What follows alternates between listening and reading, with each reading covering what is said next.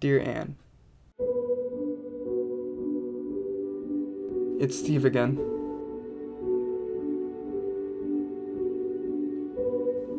Based on the fact that you have not replied to any of my previous letters, and seemingly changed phone numbers, I've come to the conclusion that you're either unable to read or ignoring them.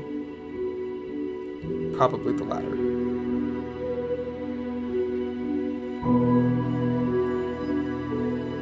This will be my last attempt at correspondence, and my final attempt to make this plea to you.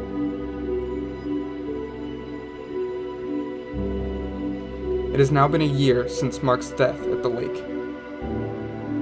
I've sworn to you that it was an accident. I know that you believe we were fighting over you, and that his drowning was my fault. I implore you to contact me, as this idea is false, and I desperately wish to escape from my own drowning and guilt over a tragedy I did not cause. Yours truly,